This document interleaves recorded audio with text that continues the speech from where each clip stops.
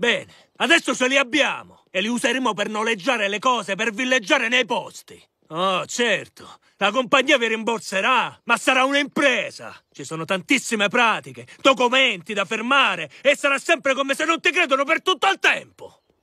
Peter, I think it's time we all go back home. of course we have to leave as soon as I get an Italian boyfriend. You know, I still don't understand what he does for a living. He gathers coins from the air by jumping on mushrooms. What's so hard to understand? Hey, Meg, let's go a two-player. I got a Luigi here, huh? Hey, Meg! Mario said you were into a weird stuff. So, you see, Mr. Consulate, all we want to do is get back to our home in America. So, can we have our new passports now?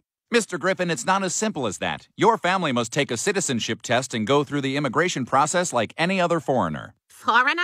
We're not foreigners. Sorry, Mrs. Griffin. Not only did you destroy your passports, you renounced your citizenship. When did we do that? Oh, I did that on the Italian social networking site Shut Up at You Facebook.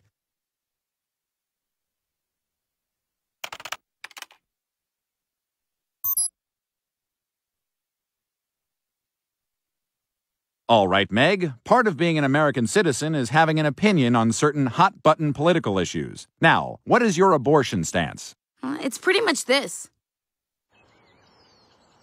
Now, if you will, please sing the national anthem of the United States. Oh, say, can you see by the dawn's early light? What so proudly we hailed. At the twilight's last gleaming. And I, I will always love you. Okay, I've reviewed your application. Now, where you listed employment, some of you wrote Family Guy and others wrote The Family Guy. Which one is it? Uh, it's Family Guy. All right, now that you've completed your initial application, it will need to be filed by an immigration lawyer at a cost of approximately $5,000 per person. And assuming that all goes through, you should have your citizenship back in 16 months. 16 months? If I didn't know any better, I'd think you were making it hard to become a citizen on purpose. Like you don't want any immigrants coming to the U.S. I wish that were true, Mrs. Griffin, and it probably might be. Now, if you'll excuse me, I have to go sit on my fat wife. I'm ready for you, String Bean. What a weird guy. Oh, this is terrible. Peter, what are we gonna do? I'll tell you what we're gonna do.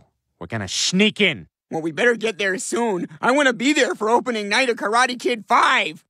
Mr. Miyagi, this is kind of embarrassing, but I'm having a problem with erectile dysfunction. Hey, Daniel-san. Miyagi fix.